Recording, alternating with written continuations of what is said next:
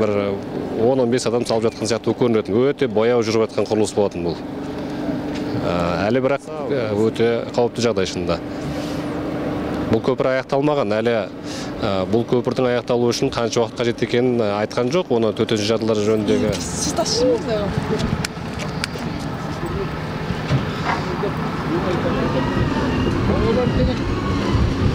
Э, В 11.57 поступил звонок на телефон ЕДДС ДЧС города Алматы о том, что произошло обрушение новостроившегося моста, э, развязка на Рыскулова-Сайна. По прибытию на место установлено, что полотно дороги, э, то есть мост, который строится, развязка э, длиной 125 метров, шириной 11 метров, э, в некоторых местах до 18 метров. Э, При заливке бетона произошло обрушение. То есть э, комиссия здесь будет заниматься. На данном участке э, работало 52 человека. Сейчас в данный момент э, занимается разборкой службы спасения, э, департамент ЧС, ну, все, при, все службы города. Э, Здесь привлечено сейчас порядка 200 человек, около 100 единиц техники.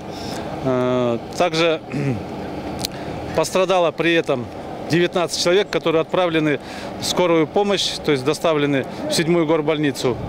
Из них трое в тяжелом, э, тяжелом состоянии, то есть с различной степенью травм.